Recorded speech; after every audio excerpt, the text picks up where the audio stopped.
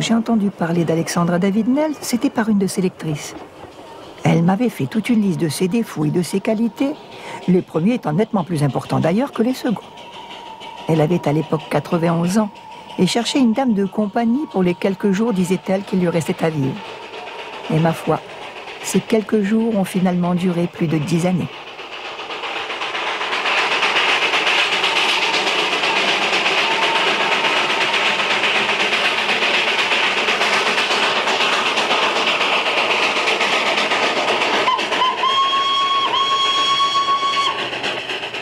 voilà, moi aussi, bien des dizaines d'années plus tard, comme Alexandra David-Nel, j'emprunte le train Joujou, comme elle l'appelait, qui va me faire voyager à travers les Himalayas. Puis de là, j'irai au Sikkim, exaucer, si j'ose dire, le dernier vœu d'Alexandra David-Nel, celui de ramener au monastère de Kodang Gompa une statuette historique qui a six siècles et qui lui avait été offerte en 1912 par le Maharaja du Sikkim de l'époque, Sideong Chupu, qui était devenu pour elle un grand ami puis peut-être que je vais manquer d'humilité en disant ceci, mais je crois que j'aurais ainsi payé ma dette de reconnaissance que je dois à la terrible et fascinante vieille dame de Songtenzong. Exploratrice, écrivain, orientaliste, Alexandra David-Nel devient célèbre dans le monde entier en 1925, car elle est la première occidentale à avoir réussi l'exploit de pénétrer dans Lhasa, la ville interdite du Tibet. Infatigable, elle parcourt l'Asie pendant plus de 20 ans et s'éteint à Digne en 1969, à l'âge de 101 ans, alors qu'elle vient tout juste de faire renouveler son passeport.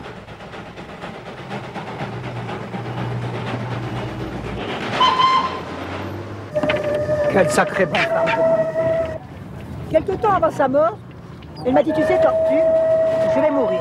Comme tu m'as connu, il se peut que des gens te demandent de parler de moi. Qu'est-ce que tu diras? Ah, ben ça, madame, je dirai la vérité. Vous pouvez compter sur moi ça, je sais bien que je peux compter sur toi. Tu es bien trop bête pour savoir mentir. Et ça ne suffisait pas. Elle dit, mais quoi Qu'est-ce que tu diras encore? Développe un petit peu ton idée. Ah, je dis, madame, vous tenez tellement à le savoir Eh bien, je dirais au monde entier que vous étiez un océan d'égoïsme, un Himalaya de despotisme. En lui disant ça, je relève mes yeux vers elle. Elle s'était redressée dans son fauteuil, calme et sereine, un magnifique sourire. Elle me dit, ah, je sais que je peux mourir tranquille, que je peux compter sur toi pour dire la vérité. À la mort d'Alexandra, Marie-Madeleine Perronnet, que l'exploratrice surnommait affectueusement Tortue, reste habitée à Digne, dans la maison de Samtenzong, la forteresse de méditation, qu'elle transforme en fondation et en musée. Sa rencontre avec Alexandra a donné un sens à sa vie, et elle décide de se consacrer à perpétuer la mémoire de celle qui fut véritablement une femme hors du commun, une aventurière de l'esprit.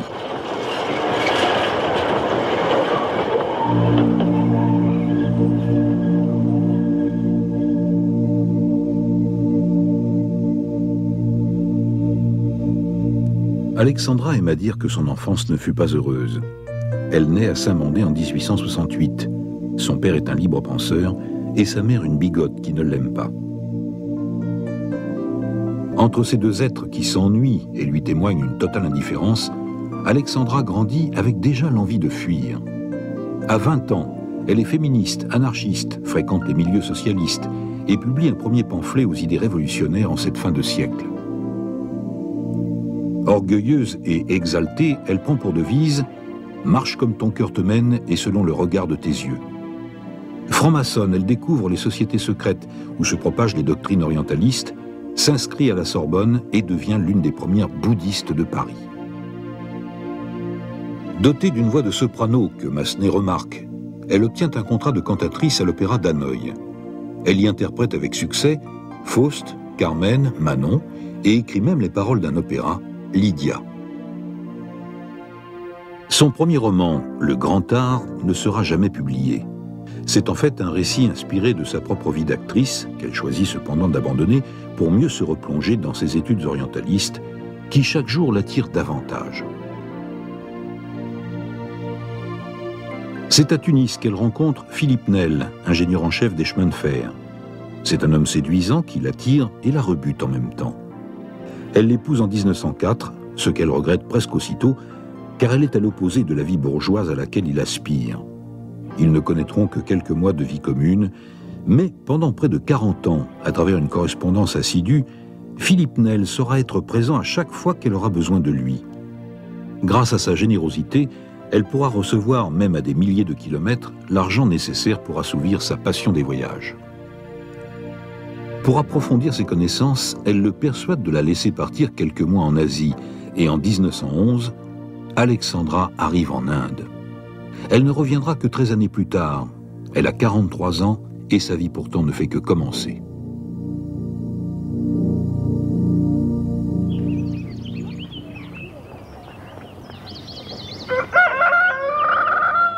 Quelques mois plus tard, elle lui annonce son départ pour le Sikkim, petit royaume d'Himalaya.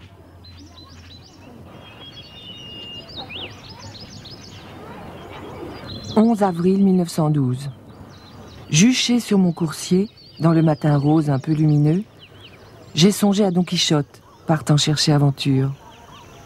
Je n'avais pas la lance au poing, une simple baguette empruntée à un buisson la remplaçait.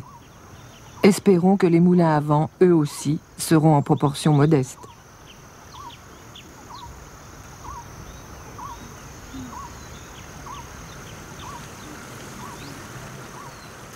Pourquoi donc, mon grand cher, sembles-tu t'inquiéter de ce que tu appelles mon mysticisme croissant? La grande joie, la grande lumière qui met un rayonnement autour de notre vie, n'est-ce pas précisément de voir au-delà de notre personnalité chétive et étroite? Je vis des heures d'adorable paix, pleines de ce transcendant scepticisme qui fleurit dans les sutras bouddhistes et dont la fleur s'épanouit avec grâce, telle une orchidée des vallées himalayennes.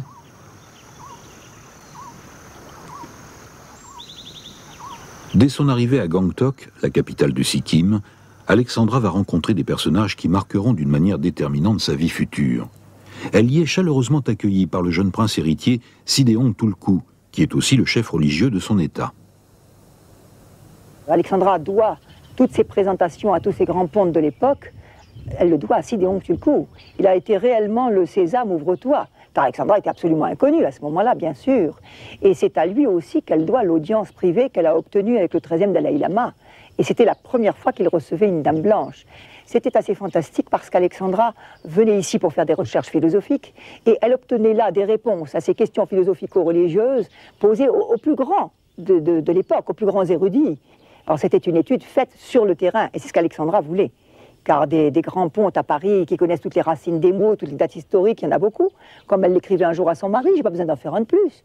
Mais dit, mais moi, quand les gens liront mes livres, je veux qu'ils disent, elle, elle a connu ces gens, elle a vécu parmi eux.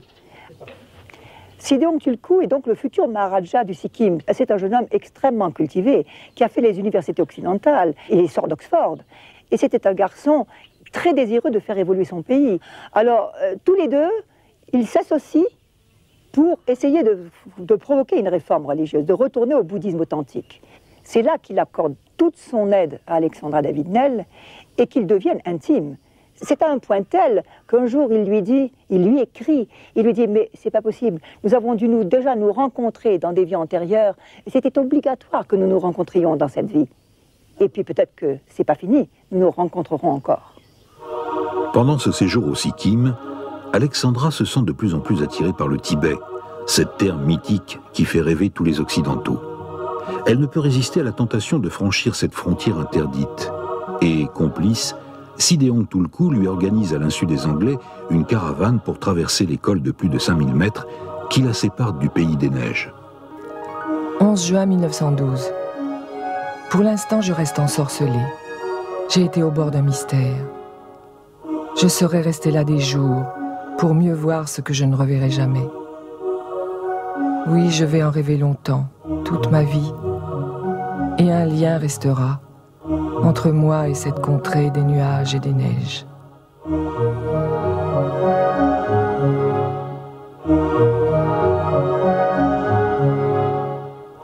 À son retour du Tibet, Alexandra rencontre enfin le Gomchen de Lachen, l'ermite, ascète et magicien, le plus renommé du Sikkim.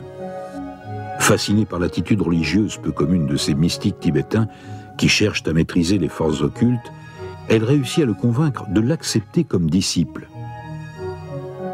Alexandra passe deux hivers auprès de lui à 4000 mètres d'altitude, à vivre comme les anachorètes, isolés du monde, dans une caverne aménagée à l'aide d'un toit de paille et d'un mur de pierre.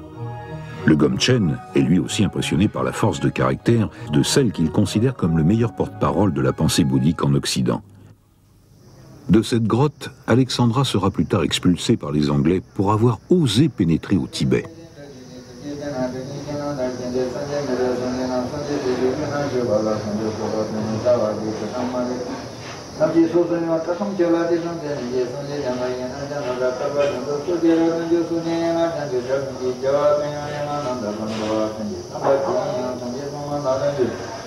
Samji soso nima tatham chala di samje nije sanje jama yana jana da taba janda so jera ranjo sunye yana janjo jagunji jawa kanya yana nanda bandava sanje samba kanya sanje sama naranjo Tüsün gibi cevap hani cin kolu tamara bir kurva yete rakin olsun bizi la koye tabi dane rakin jama Mesone namalı tamva kyo baban jama yene ceva la chan talo jini sadasa jin jina tüsün gibi me senge dage male terat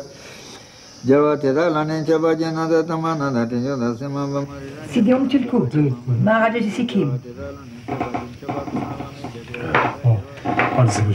Voilà, avec Sir Charles Bell, Tulku, 13e Dalai Lama. Dans sa correspondance, Alexandra reste extrêmement discrète sur son départ et dans l'Institut de tibétologie de Gangtok se trouvent conservées toutes les archives relatives à cette époque. Expulsion de Madame Alexandra Daniel du Sikkim. Lettre émanant du superintendant du Sikkim, Sir Charles Bell. Concernant l'expulsion de Madame David Nell, voici le processus à envisager en fonction de sa réaction. Il est tout à fait probable que Madame Nell fasse des difficultés. Il la connaissait bien. Dans la mesure où elle enfreint l'interdiction de se rendre au Tibet et qu'elle a ainsi accompli son désir de voir ce Tibet, il n'y a plus aucune raison qu'elle reste au Sikkim. Euh, si elle refuse de partir, il faudra envisager de ne plus l'approvisionner. Et si cela ne suffit pas, il faudra certainement l'aide de la police pour l'expulser avec ses bagages. Ah, c'est extrêmement intéressant ça. J'espère que vous allez m'en donner le double hein, pour nos archives. Eh bien, ce long échange de lettres montre qu'ils ont vraiment eu peur d'elle. Hein. C'est étonnant. Certes, elle avait un caractère difficile, pas, je suis bien placée pour le savoir, mais ah, tiens, voilà le télégramme final. 14 septembre 1916, Sir Charles Bell donc reçoit un télégramme lui annonçant que Madame Nell a quitté Rangpo, c'est la frontière, le 13 septembre 1916 pour Darjeeling. Et ce qu'on peut dire, c'est qu'elle est partie sans histoire, mais qu'elle a gardé la nostalgie de sa caverne tout au long de sa vie. À 101 ans encore, elle me disait J'ai eu une mort bête et sale, pourquoi je ne suis pas morte dans mon ermitage? Le Gomchen aurait fait brûler mon corps dans un petit coin, et puis ça serait fini. Les cendres restées là, et ça, c'était une mort grande, c'était une mort belle.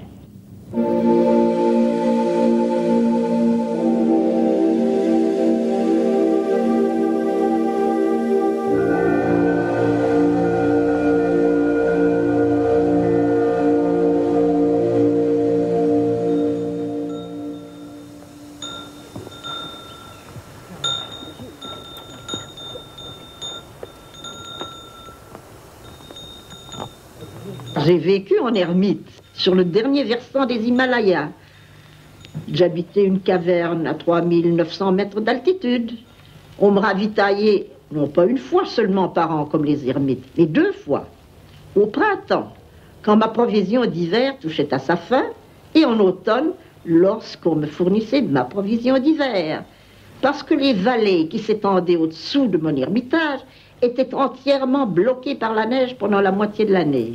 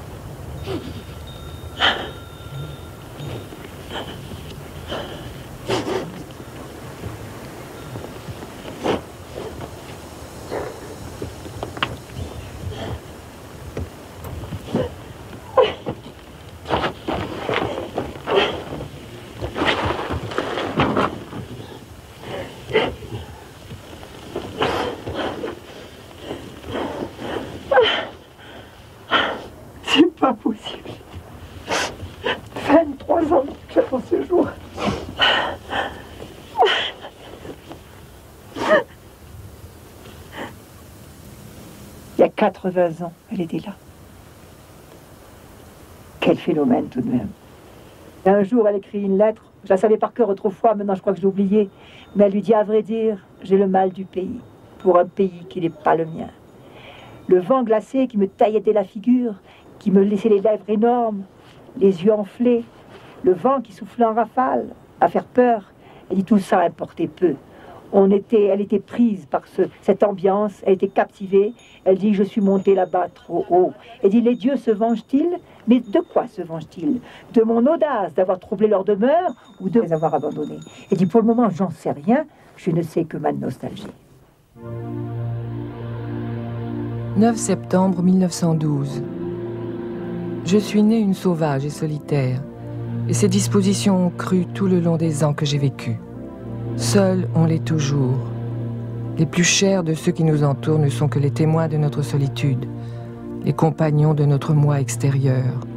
Mais où est le compagnon du moi intime, caché au fond du cœur, au fond de l'esprit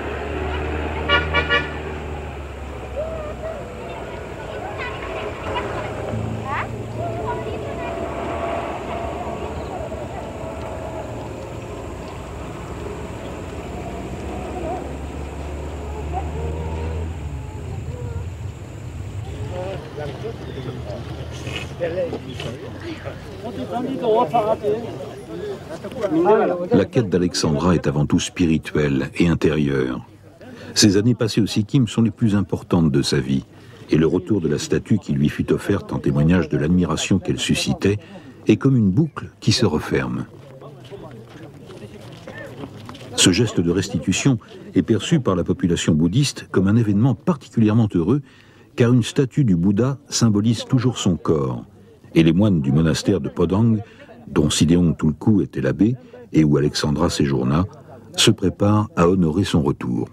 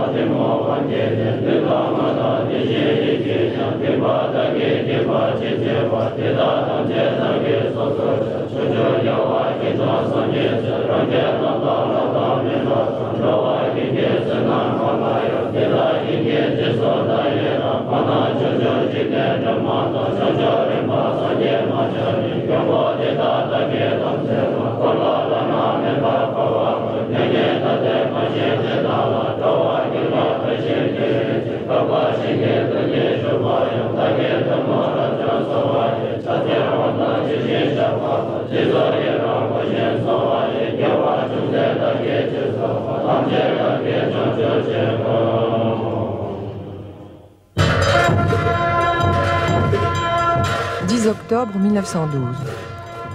L'Altesse du Sikkim m'a porté ce matin un présent peu banal. Lui-même était fort ému en me l'offrant, et j'ai pensé qu'il devait avoir une bien haute opinion de moi pour me faire un tel cadeau. Ce que c'est? Une petite statuette de bronze représentant le Bouddha. Elle était conservée comme relique dans un monastère. Lorsque le premier lama de la Karmapa secte quitta le Tibet pour venir au Sikkim, le chef religieux lui donna cette image. Il la transporta dans ses mains et quand il arriva, ses mains étaient remplies d'amrita, le breuvage d'immortalité. Le miracle est joli et son symbolisme transparent.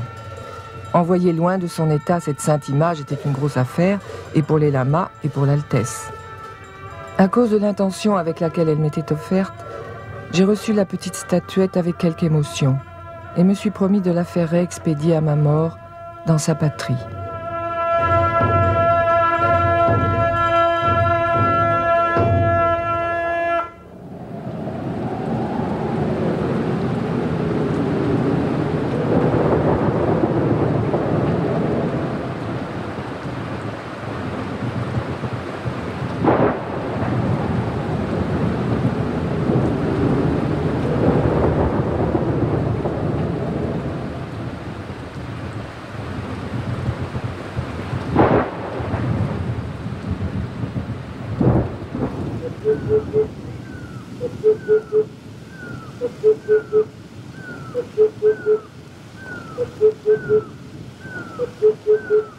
« 11 juin 1913.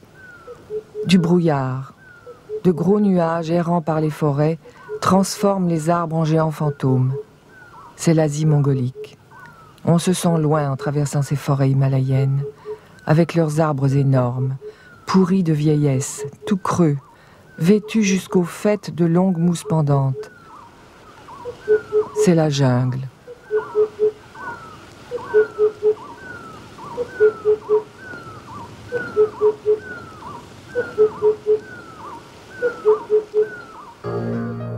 En 1916, Alexandra ne repart pas seule du Sikkim. Elle a pris à son service Apur Yongden, un jeune garçon de 14 ans qui n'hésite pas à tout quitter pour suivre celle qui deviendra sa mère adoptive et son guide spirituel. Ils vont tout d'abord au Japon, où Alexandra fait la connaissance du professeur Kawaguchi.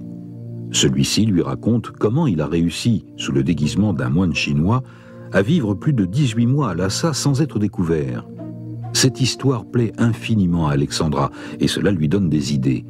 Elle veut elle aussi réussir à pénétrer dans la ville interdite. Elle repart, traverse la Chine et s'installe au monastère de Kumbum, aux portes du Tibet, pour étudier les textes sacrés et mettre au point son plan pour atteindre Lhasa.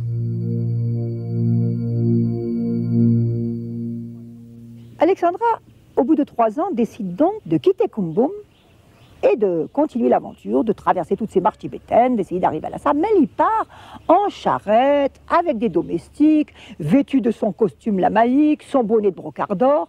Évidemment, on la voit très loin. Elle est repoussée, il n'y a qu'à lire son livre Prier des brigands gentilshommes pour connaître toutes les difficultés qu'elle a rencontrées. C'est pour ça qu'un jour, en ayant marre d'affronter toutes ces difficultés en Chine, elle abandonne les mâles, les domestiques, la caravane, elle abandonne tout y a la seule compagnie du lama Yongden. Il décide, elle, elle décide de se déguiser en mendiante. Lui, il est son fils, le lama. C'est lui qui va intercéder pour elle, demander le trajet, acheter la nourriture, parce qu'évidemment, elle parle le tibétain, mais beaucoup trop littéraire. Pour, euh, une mendiante ne s'exprime pas comme ça en, tibétain littéraire. Alors elle joue le rôle de la vieille mère effacée qui récite son chapelet, Om mani padme om, mani padme om, tout le long de la route. Et puis souvent le lama dit Ma mère est, avec les dieux. Euh, ça voulait dire qu'elle était un petit peu innocente, qu'elle était un petit peu folle, quoi. Alors les autres n'insistaient pas, ils continuent à voir la vieille mère qui égrenait son chapelet. Et c'est comme ça qu'elle a assuré son incognito. Le voyage en lui-même a été extrêmement difficile, car ils étaient sans tente, sans caravane, sans nourriture. Or, le vent, le froid, la neige, ils sont passés par des régions inexplorées, non cartographiées. Alexandra s'est quand même perdue. Elle est restée six jours bloquée par une tourmente de neige, six jours sans manger, sans feu. Elle est arrivée dans un état épouvantable à Lhasa.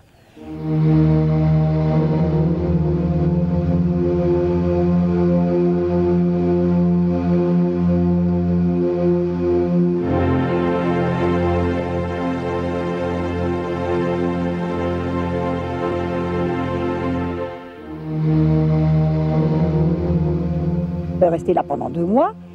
Et c'est de là qu'elle est repartie pour Gyanse, parce qu'elle voulait absolument, elle ne voulait pas remonter vers Kumbum, bien entendu. Le but, c'était de passer par Lhasa et de venir dans le sud dire aux Anglais, eh bien voilà, j'ai fait ma traversée, m'a expulsé il y a sept ans, j'ai mis sept ans pour y arriver, mais je suis arrivé. Ça, c'était sa joie, c'était de rouler les Anglais. Il dit, comment ces gens, ils interdisent l'accès d'un pays qui n'est pas le leur, mais de quel droit? Ça, elle leur en a toujours gardé rancune. Et c'est comme ça qu'elle arrive à Gyanse, et qu'elle est arrêtée par le capitaine Perry et David MacDonald, qui était agent commercial. C'est là qu'elle a attendu que les Anglais lui fassent des papiers, des passeports, car il euh, prenait des renseignements sur son itinéraire. Il voulait savoir si elle n'avait pas été faire de l'espionnage à Lhasa.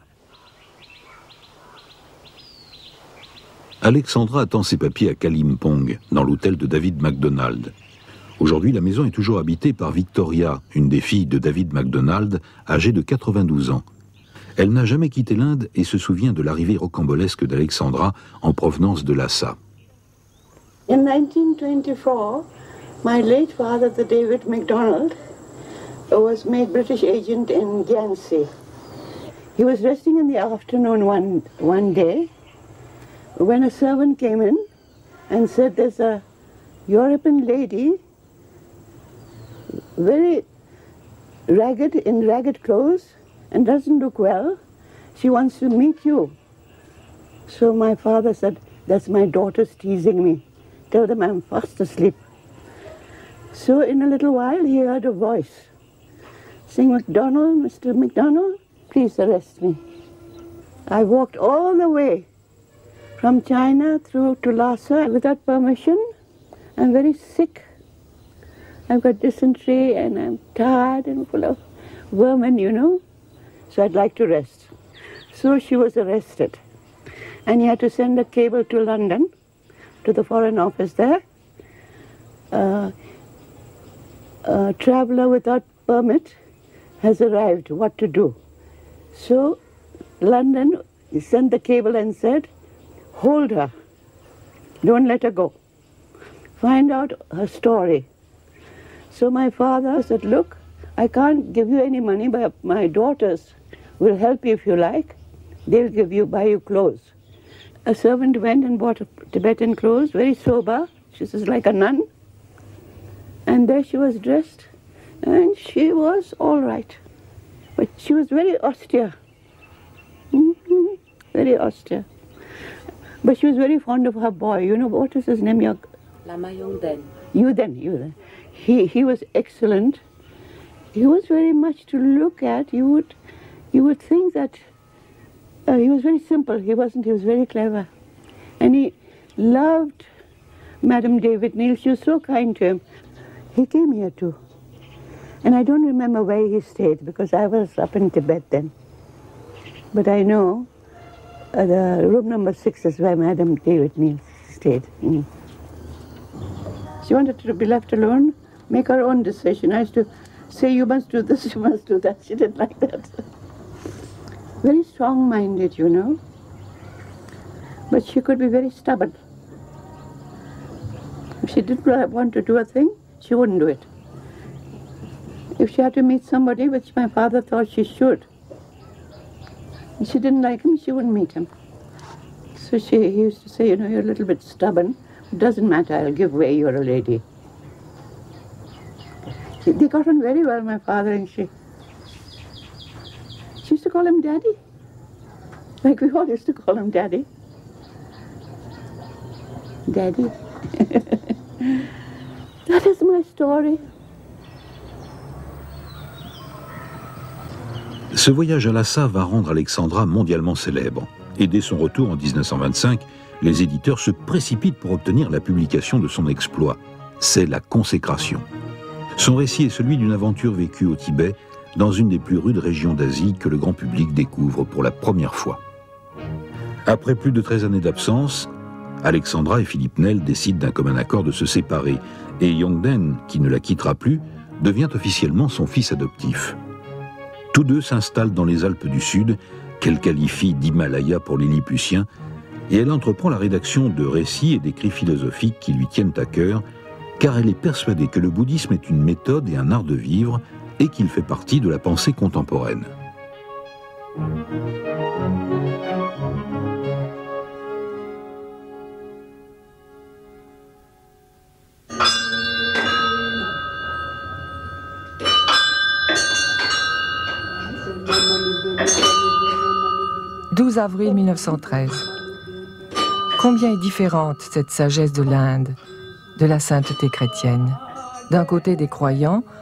en qui vibre l'enthousiasme d'une ardente foi en leur vie, et de l'autre, des philosophes aux yeux impassibles, au sourire un peu ironique, des sceptiques compatissant à l'aveuglement du vulgaire, morts à toute passion, conscients que tout est rêve et mirage.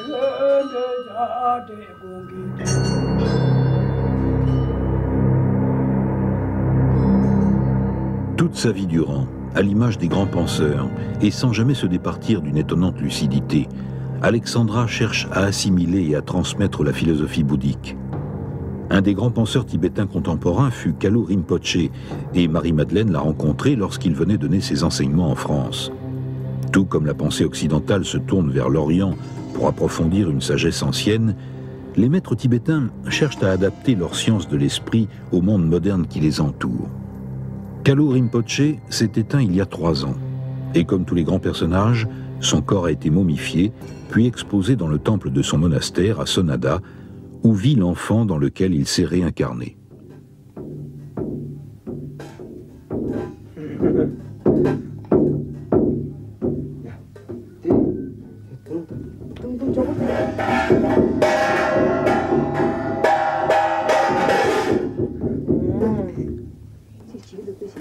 Bouddhisme tibétain considère la mort comme un passage, un état intermédiaire avant ce que l'on appelle le redevenir.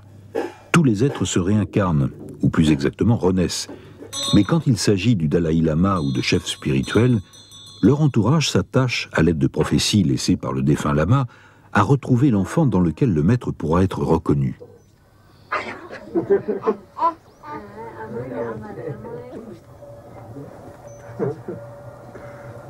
«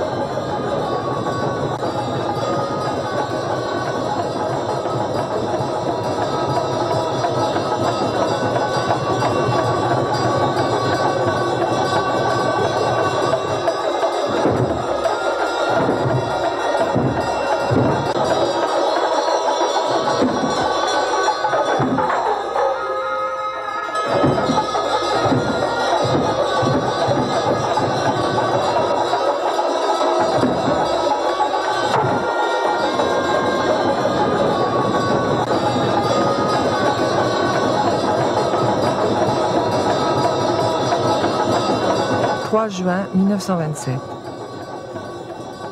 Les profanes imaginent en général que les bouddhistes croient à la réincarnation de l'âme, voire même à la métempsychose. C'est là une erreur.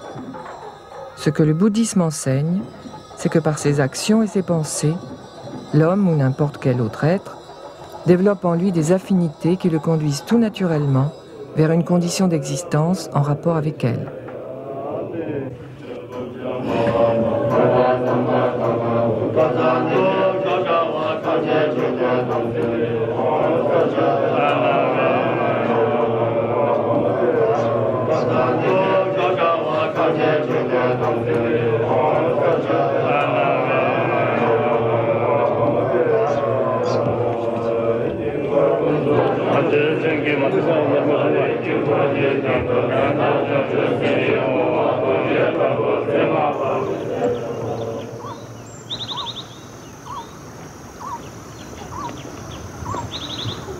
16 mai 1915.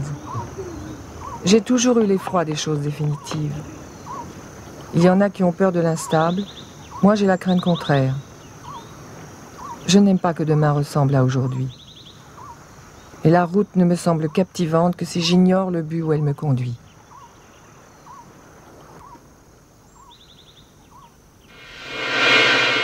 Alexandra a presque 70 ans lorsqu'elle repart une nouvelle fois avec Yongden en Asie. Ils débarquent en Chine alors que la guerre civile fait rage.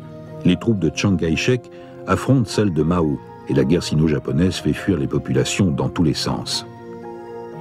C'est sous les bombardements qu'elle traverse le pays en une incroyable odyssée qui tourne au cauchemar pour finalement se réfugier à Tatsienlu, aux portes du Tibet. La famine est partout et elle trouve asile chez les missionnaires.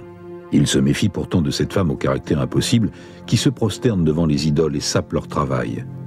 Imperturbable, Alexandra la Penseuse continue la rédaction d'ouvrages qui révèlent le monde caché du bouddhisme tibétain. C'est là qu'en 1941, elle reçoit un télégramme lui apprenant la mort de Philippe Nel, auquel elle n'a jamais cessé d'écrire. Elle aura ces simples mots J'ai perdu le meilleur des maris et mon seul ami. En 1945, après bien des difficultés, elle se rend à la base aérienne de Kunming pour tenter de rejoindre l'Europe. C'est là qu'elle sollicite l'aide du commandant William Labussière, alors pilote pour la France libre.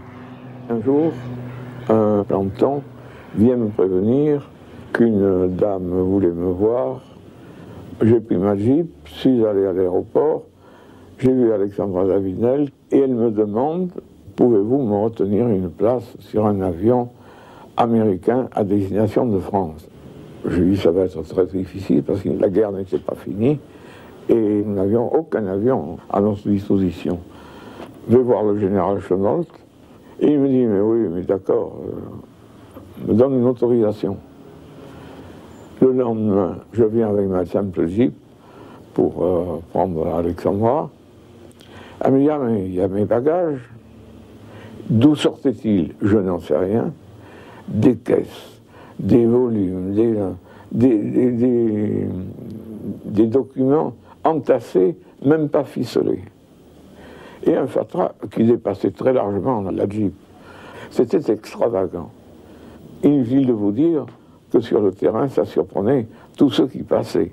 Tous les mécanos, tout, l'équipage venait voir. Euh, on, met tout ça dans l'avion. Mais quand même, elle était irritante par moments. Parce qu'on sentait la femme qui, qui exige. Qui ne. Quand elle demande quelque chose, quand elle dit quelque chose, quand, elle sollicitait quelque chose, il ne fallait pas protester ou faire une réflexion, il fallait s'exécuter. C'est tout ce qu'elle voulait. A-t-elle réalisé euh, l'importance de, de ce qui avait été fait à son égard? Non. Absolument pas. Absolument pas. C'était Alexandra.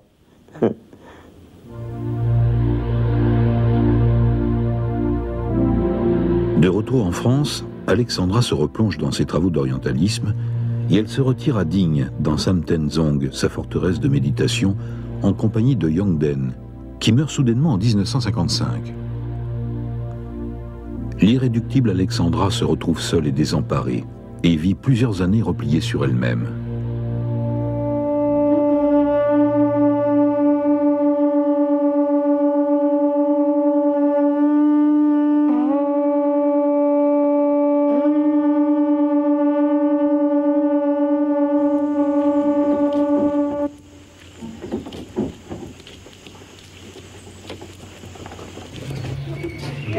Elle a la chance, à la veille de ses 91 ans, de rencontrer Marie-Madeleine Perronnet.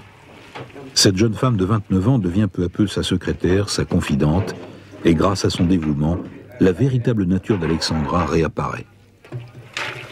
Je suis arrivée auprès d'Alexandra David Nell le 17 juin 1959 à 14h exactement, alors que je ne connaissais rien d'elle, rien du bouddhisme, rien du Tibet. Elle était assise dans son fauteuil. On ne voyait d'elle qu'un regard extraordinaire et un chignon blanc. Elle avait une chevelure extraordinaire aussi. Elle me dit Asseyez-vous, mademoiselle. Merci, madame. Comment vous appelez-vous? Marie-Madeleine Perronnet. Quel âge avez-vous? Je vais avoir 29 ans le 30 juin. Quelle est votre religion? Catholique. Elle me fait une interview en règle, elle me fait parler beaucoup de moi, de ma famille, et puis tout d'un coup, elle me dit Mon enfant, ne me quittez pas et vous verrez, je ne suis pas une ingrate. Moi qui, un moment auparavant, lui avait dit que j'avais passé ma vie à m'occuper des bonnes œuvres, de la veuve, de l'orphelin, de la Croix-Rouge et que sais-je, je pas laisser une femme de 91 ans qui me disait qu'elle allait mourir dans les deux heures. Moi, je l'ai cru. Je lui ai dit, écoutez, madame, vous pouvez compter sur moi. J'ai ma pochette de toilette chez ma sœur, je vais la chercher dans cinq minutes, je suis auprès de vous, je passe la soirée avec vous, la nuit s'il le faut, je ne vous abandonnerai pas. Très bien, faites vite. Cinq minutes plus tard, je fais mon entrée solennelle auprès d'Alexandra Davidnel, avec pour tout bagage ma brosse à dents. D'heure en heure, Alexandra commence à me raconter sa vie et elle rajeunit. Le dîner arrive, elle avait, ma foi, un solide appétit, une digestion apparemment très facile, et tout se passe à merveille comme ça pendant trois jours. Alors tout d'un coup, je lui dis, mais madame, je suis toujours vêtue de la même petite jupe, du même petit tricot, et puis ma famille ne sait pas où je suis. Peut-être que je pourrais aller leur dire où je me trouve. Elle me dit, faites vite, je vous donne une heure et demie. Je prends sa quatre chevaux, en une heure et demie, je pars, je fais mes bagages, je dis au revoir à ma famille. Et quand je reviens, elle me dit voilà, j'ai téléphoné au taxi, monsieur Belon, il vient nous chercher, demain nous arrivons à Digne. Vous allez vivre dans une belle villa, trois terrasses, un parc de roses à contempler, des couchers de soleil sublimes. Vous allez voir, vous allez être très heureuse auprès de moi. Et puis, madame, qu'est-ce que je pouvais demander de plus? Moi, je me rappelle, au volant de ma quatre chevaux, Madame Nell était dans le taxi avec les bagages. Moi, au volant de la quatre chevaux, je hurlais tous les chants possibles, imaginables, même patriotiques, les chants que nous hurlions que les vacances. Et quand et nous arrivons devant Samtenzong, où se trouve Samtenzong, la belle villa aux trois terrasses Je la cherche. J'en vois quelques pans de mur à travers une jungle impénétrable. J'essaye de monter. Les herbes qui avaient poussé sur la route freinent mon ascension, bien entendu. Les rosiers, où sont-ils? Oh, Ils sont peut-être là probablement, mais dans les herbes. Je suis quand même assez stupéfaite au pied de Samtenzong. Mais ça, c'est rien. La porte finit par s'ouvrir. Et nous pénétrons dans la maison d'Alexandra David-Nel. Alors là, comment décrire ma stupéfaction? Il n'y a pas de mots. C'était sombre, c'était froid. Il y avait des objets que je n'avais jamais vus des dorjets, des tibias, des crânes. Et puis en plus de ça, non seulement je ne connaissais pas tous ces objets, mais il y avait des araignées, des souris, des cafards, ça courait de partout, ça pendait de partout. Alors il y avait la vieille Fernande, la bonne, euh, qui était là depuis, qui servait Madame Nell depuis plus de 30 ans, qui me dit, vous savez Madame, euh, Madame Nell est bouddhiste, on n'a pas le droit de tuer les araignées. Vous savez, là, on me dit qu'elle est bouddhiste, on m'aurait dit qu'elle était la fée Carabosse, on m'aurait dit n'importe quoi, j'étais prête à tout croire. Je n'avais jamais vu une chose pareille.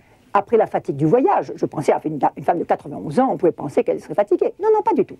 Elle s'installe, elle sort son manuscrit, à l'époque elle travaillait sur euh, immortalité et réincarnation, elle prend sa loupe, ses crayons, ses dictionnaires et elle se met au boulot immédiatement. Et c'est comme ça que j'ai commencé ma carrière littéraire, entre guillemets, elle me dit, tu vas aller dans la bibliothèque. Ça, elle avait une mémoire extraordinaire.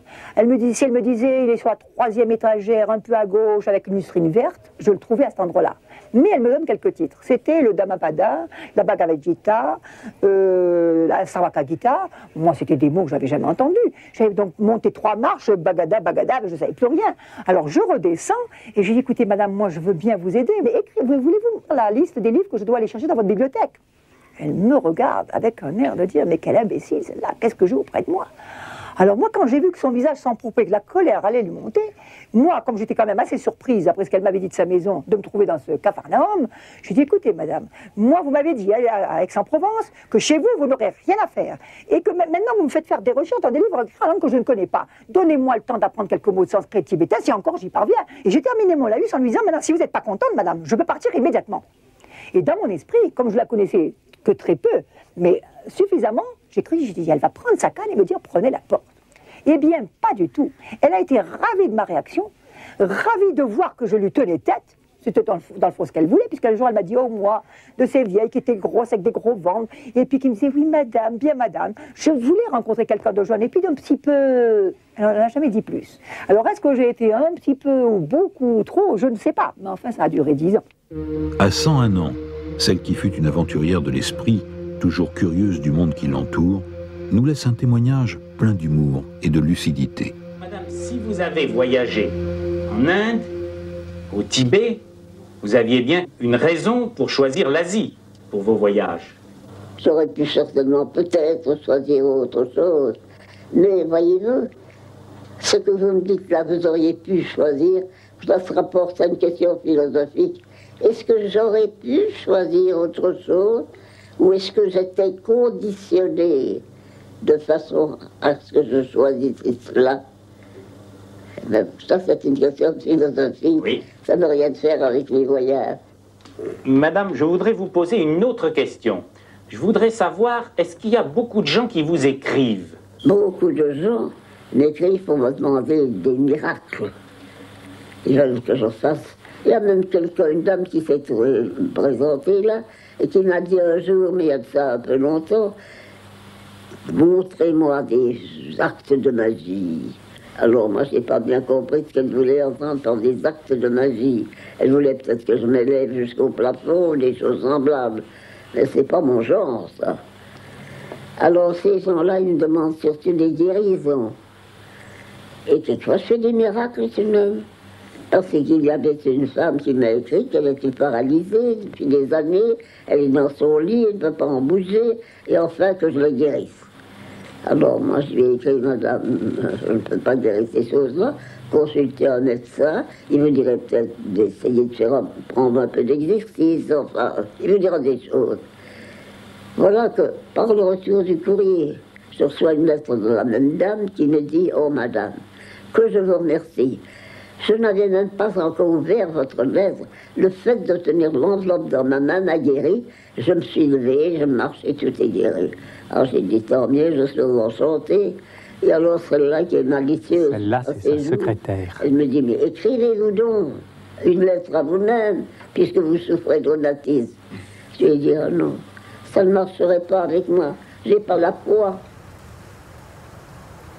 La fin d'Alexandra a été triste, surtout pour moi, pas pour elle, car un jour elle a posé son crayon sur la table et elle m'a dit Tu sais, cela se sent, comme disait mon papa, je vais mourir. Je suis enfin, madame, vous n'avez rien pour mourir. Comme j'étais arrivé dix ans auparavant auprès d'elle, elle allait mourir dans deux heures, et que pendant dix ans elle était restée à deux heures de la mort, quand c'est arrivé, évidemment, je, je ne croyais plus. Alors elle me dit Non, non, non, mets-moi ma robe de nuit et mets-moi dans mon lit, dans mon trou, dans son fauteuil, puisqu'elle n'a jamais dormi dans un lit, elle dormait dans son fauteuil. Je l'installe et elle s'est laissée mourir. Et ce qui a été extraordinaire pour moi, c'est qu'à un moment donné, elle ne me reconnaissait pas. Et comme ça avait été une femme du meilleur monde, très bien élevée, j'étais une étrangère qui était venue lui rendre visite. Alors elle me parlait, elle s'obligeait à me tenir la conversation. Et ce qui a eu de merveilleux pour moi, c'est qu'elle m'a parlé de moi, à moi-même. Alors comme ça, j'ai su ce qu'elle pensait de moi. Parce qu'elle était plutôt avoir de compliments de son vivant. Mais enfin là, j'ai vu que ma foi, sa tortue, elle l'avait quelquefois appréciée.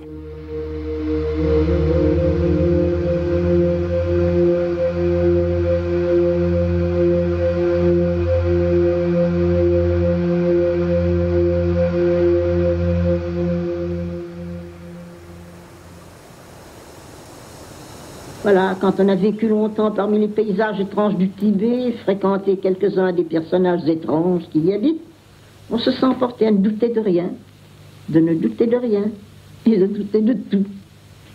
Y a-t-il une réalité derrière les images que nous voyons, derrière le panorama du monde?